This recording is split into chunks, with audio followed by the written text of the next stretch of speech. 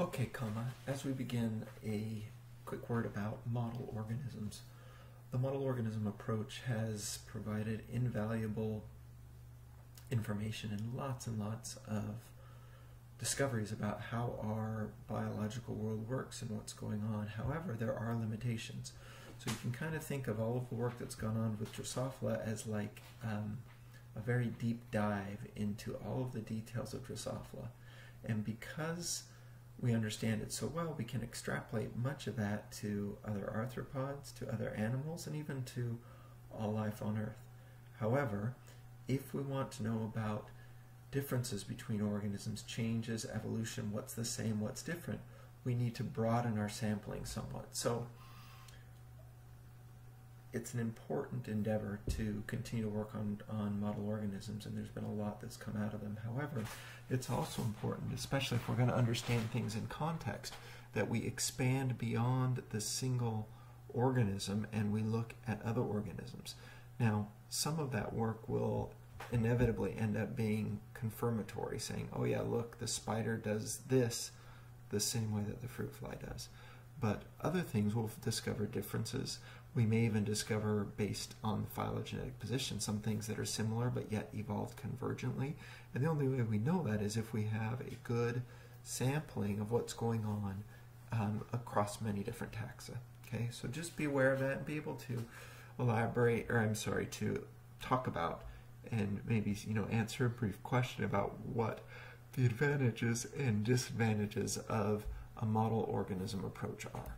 So with that said, we will do some uh, looking at Drosophila and some of the things that have been discovered in Drosophila in this discussion, but we'll also make some generalizations and things that have been discovered as people have begun to examine other organisms beyond just the model organism. Okay, so if we're looking at comparative data sets, it's getting better. And so when I first put the slide together, there really were only two, and it's getting a little bit better, but but still these two have by far the best comparative data sets we've got arthropods, and we basically have chordates, or maybe even more particularly vertebrates. Okay, so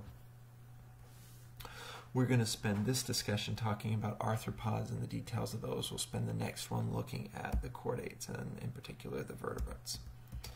All right, so arthropod is made up of four major groups, and you need to know each of these four groups. Okay, the chordates, we're going to concentrate on the vertebrates, although we will talk a little bit about some of the uh, cephalochordates and urochordates, but that's for the next lecture. So we're going to finish fit, uh, focus on these big four here. We have the myriapods, which includes centipedes like this house centipede and the millipedes. We've got the insects, which includes butterflies, many, many other groups. Insects are the most diverse and speciose group on Earth. We have the uh, chelicerates, including arachnids, but some other groups. And then we have the um, crustaceans. Okay, so just be aware of those four. Let's look at, at their relationships here in a little bit. Now for the genes, really Hox genes is where we have the most data, but now we're gathering more and more data for other comparative genes. So we're going to spend some time talking about Hox genes. And we want to do this in the context of the phylogenetics of these groups. Okay, So this is an overview. There's some debate about relationships, even to this date, uh, among the chelicerates and the myriapods. Most people now think that the chelicerates are the closest relative of the remaining um, arthropods here, the insects and crustaceans. But notice something here. I've put a crab and then this tadpole shrimp on separate groups. So this is a very key important thing crustaceans are actually a paraphyletic group. It's not a valid taxonomic group. Some crustaceans are more closely related to insects than others. So to revise this, we've now called this entire group, including crustaceans, paraphyletic, and the insects, pancrustacea. Okay, so we've got the myriapods, we've got the chelicerates, we have the paraphyletic group crustaceans, again, not a valid taxonomic group, and then we have the hexapods or the insects. Okay, and so this group is called pancrustacea. So be familiar with these terms, and that crustaceans and insects are their own are their, are closely related to each other, but that some crustaceans are more closely related to insects than others. Okay, the outgroup for the arthropods we've mentioned this previously, but you need to know it. We'll talk about a little bit more detail now. Are the velvet worms. Velvet worms are externally segmented.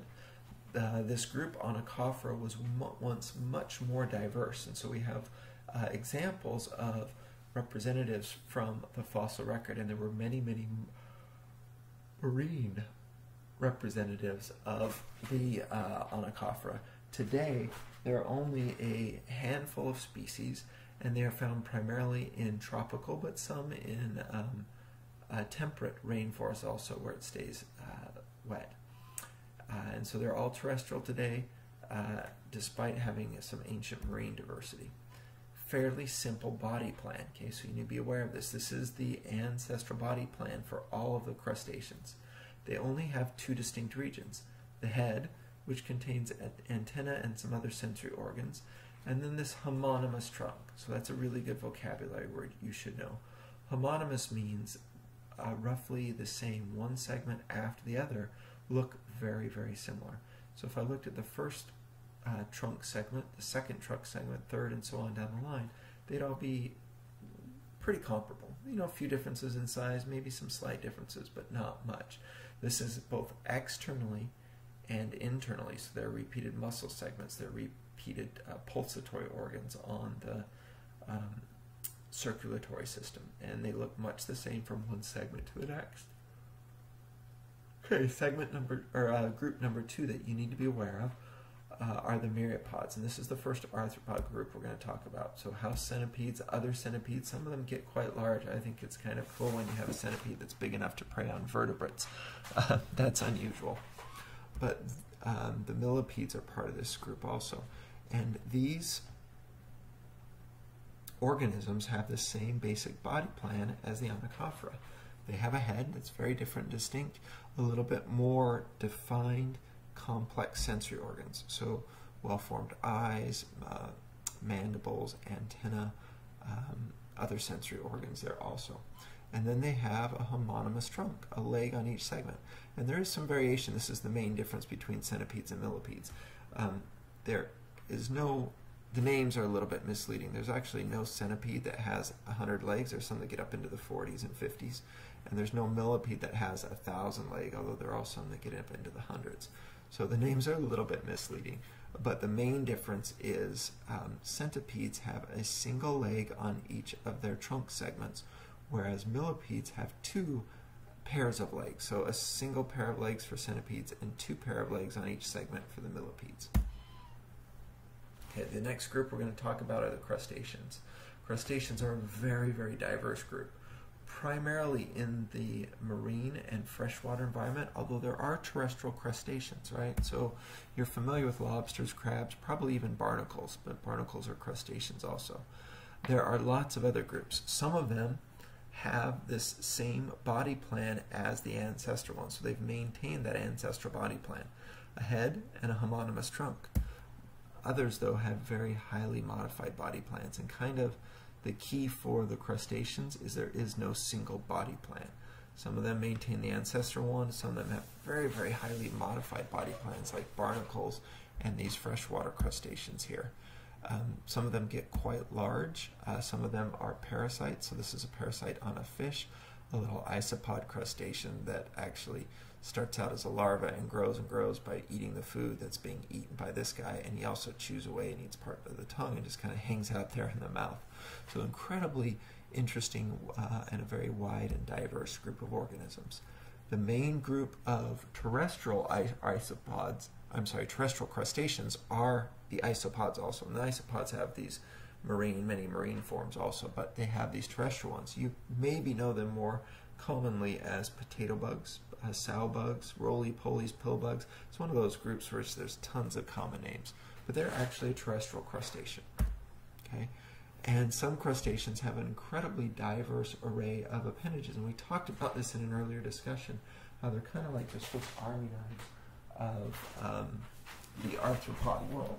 So we'd have a head segment with all of these different various sensory organs on it, a um, actually two pairs of antenna, mouth parts, eyes, and all the other things that go along with the head, a uh, cephalothorax, kind of a trunk region, uh, what looks a little bit like the abdomen here, what um, they're calling um, that, that are often called the tail, but may break up, broken up into these many parts. And you don't need to spend time memorizing this, but you should know that crustaceans have the most diverse from a fairly simple ancestral form to a very, very complex form with many different types of bodies. So there is no single crustacean body plan. Okay, the next group we're going to talk about are the chelicerates. Okay, and the chelicerates, the name literally means the slicing mouth parts. Um, the chelicerates uh, include groups that you're very, very familiar with, but also lots of other groups that are less commonly known and also many extinct groups. So the trilobites dominated uh, the many ecosystems in the Paleozoic era. Today there are a few marine chelicerates left. So um, horseshoe crabs are one of the marine chelicerates. But most chelicerates now are on land. So we've got ticks and mites, and we have other arachnids. This is a, uh, a whip scorpion. Uh, you may be familiar with this from the Harry Potter movies. Um, and so here we have Ron Weasley, right, with a, a big scary chelicerate. This is a little bit of an exaggeration. They get close to this size, but really not quite this big. Uh, these guys look very, very scary. They can give a little bit of a bite, but they're actually rather harmless. And then, of course, the biggest group that I don't have pictured here, you guys are already familiar with, are the spiders.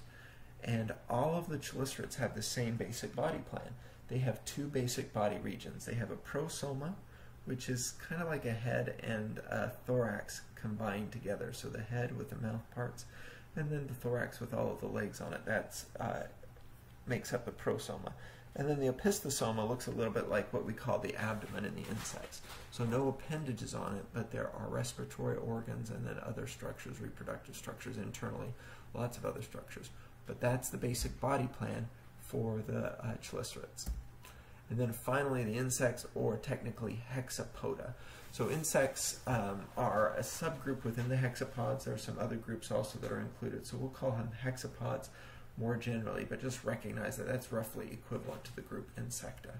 And these have this very classic body form. You probably learned it even as a small child, right? So they've got a head, a thorax with three pairs of legs, and then an abdomen without any appendages, although that's a little bit of an exaggeration. Some of the uh, basal hexapods, like the silverfish here and these collembola, do have some appendages on their uh, abdomen. But most of the species of insects have no appendages at all on their abdomen. Okay, so these three major body regions, and then also a major thing, although this only applies to a subgroup of insects, is that wings evolve. So they were the very first organisms on Earth to evolve flight. It happened um, probably about 450 to 400 million years ago, though there's some debate about that. We don't have a very extensive fossil record, but surely by 400 million years ago we had flying insects. And today they are the most diverse group. And so these collembola and silverfish uh, are descended from groups that broke off before wings evolved. Now, all arthropods have several features in common, and we're going to talk about these features and then look at the genetic control of them, just kind of in brief overview. So one of the primary, most obvious characteristics of the arthropods are uh, their segments. So they have individual segments and then diversification of those segments. So thoracic segments are different than abdominal segments. And this contrasts with the homonomous trunk segments like we looked at with the Onychophora and with the myriapods. Okay, and so as people began to explore this, they realized it was probably very, very early evolved. In fact, we know now that segmentation goes back even pre-arthropods. But in the arthropods, there's a very, very conserved mechanism of segmentation. So the gene that controls segmentation in insects is the same gene as in crustaceans, as in myriapods, as in chelicerates. And the main gene that does this is engrailed, uh, abbreviated EN for short. So engrailed is the conserved arthropod method for building segments. And so engrailed comes on fairly early in development. Timing and order in which it comes on is slightly different in different groups, but it's still the same uh, gene. So whether you're a fruit fly, grasshopper, these insects, a crayfish, centipede, or a mite, you're going to express engrailed as a signal for where the boundary is for each of those individual segments. Okay. However, there have also been other genes that have been recruited to do things differently in some arthropods. So fits in fruit flies, notch in some of the other arthropods, and even skipped or Eve all have now a very early and important role in segmentation, but it's not universal. Engrailed is kind of the one universal gene that unites all of the arthropods. Okay, and so we can see changes in how these genes are regulated, like hunchback and how it's turned on. Here's an example. In the fruit fly, hunchback is turned on by bicoid, this very early maternal gene, but it's repressed by nanos, which is another maternal gene that's expressed in the posterior area. And so both of those together have this kind of um, antagonistic impact on hunchback. However, in a beetle, which is actually fairly closely related to flies when we're looking at the grand scheme of arthropods, we don't have a bicoid gene. And so this is a new function that's very, very early on and unique for Drosophila. So this kind of points out the limitations of the Drosophila or of the model organism approach. If you only looked at Drosophila, then you might make an extrapolation like, oh, this is how early segmentation is done in insects. Bicoid controls hunchback, which has an impact on even skipped in the end uh, engrailed, but that is a very relatively newly evolved structure just in the higher flies, and other insects don't share that. Okay? So just be aware that there can be lots of changes despite this external um, similarity in, in structure and, and some genetic similarity.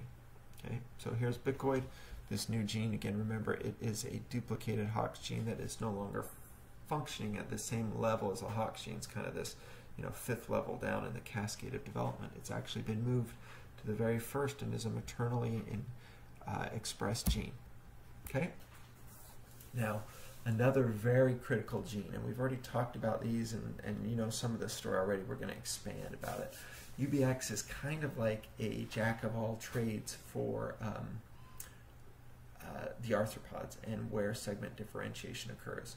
So in insects, UBX helps to define the transition between the thorax and the abdomen. If you remember the Lewis et al. paper, there was a paper, there was uh, some research that looked at that in quite a lot of detail. It's actually UBX and abdominal A together. Okay. However, in the ancestor, the crustacean, UBX doesn't define the abdomen. It's expressed throughout this area where we grow legs. So notice here, if we have UBX and abdominal A together, we don't grow legs.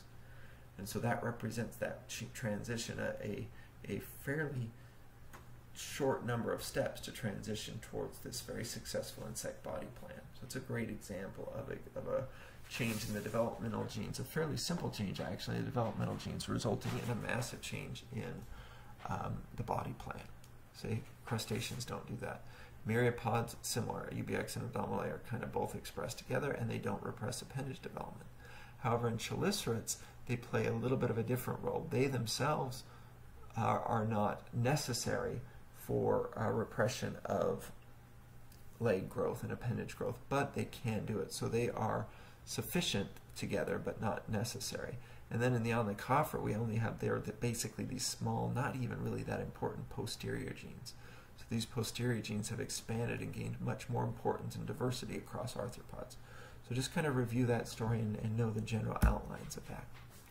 UBX also plays some roles in some unexpected areas, so we typically think of it as this kind of abdomen or posterior part of the body development, but can also play a role in crustaceans here at the transition from the, um, sorry, right up here, at the transition from the mouth parts to the maxilliped. Now, the maxilliped is kind of, as its name implies, is kind of a hybrid appendage. Looks a little bit like a mouth part in many groups is used to help manipulate food and grab food, but it also has features that are in common with the legs. So it's kind of this hybrid one. And notice that where the uh, maxilliped forms, which is right here on T1, that that is basically UBX all on its own. So UBX helps to uh, define that and defines that region of the maxilliped. Okay, so we can see this boundary, although it's changed somewhat. We have um, here on T1 a maxilliped there. Here in the branchiopod, it's really much more similar to the other appendages. So it's a diverse feature. We have two maxillipeds in, um, this is the lobster, um, and then three in some others. So uh, this has changed, but that basic maxilliped formation is still defined by UBX. Okay, now the head is also patterned by Hox gene with quite a bit of variation. And I'm not going to spend time or expect you to take the time to learn any one of these. But notice that we have very different layouts for these different types of heads. And the head in insects is roughly the same, although there are modifications to the mouth parts, but roughly the same number of segments and the same basic parts uh, across most of the insects. And so we have these many different di regions defined. And so again, don't take time to memorize these, but what I do want you to, do, to look at is the same basic pattern that we talked about earlier in the semester, where we have multiple genes with various levels of overlap that allow us to define many different parts of the body. So we can define an antennal region, which basically doesn't express Hox genes in insects.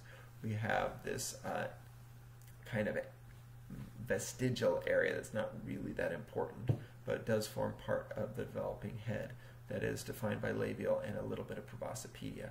Then we have the mandible that's defined by proboscipedia and deformed, but proboscipedia at low levels. And then the maxilla that's defined by proboscipedia defined and a little bit of sex combs reduced in the posterior end. So all these different overlaps lead to incredible amounts of different developmental pathways and ending up with different developmental um, outcomes. So again, just one example, you don't need to spend time memorizing it, but notice we have similar things with slightly different outcomes for the rest of the arthropods. So we end up with very, very complex patterns, but notice how um, the form correlates with the different expression regions. All right, that wraps up arthropods, kind of short and sweet. Um, there is a little bit of information that will come from paper number eight. I will post outlines on Thursday, sometime near the end of the day, for both paper number seven and paper number eight. They'll just be written outlines with questions for you to highlight and look at. Hopefully, you've read paper seven. If not, read it sometime um, this weekend. The material from that, from what's on those outlines, will be fair game for exam number two.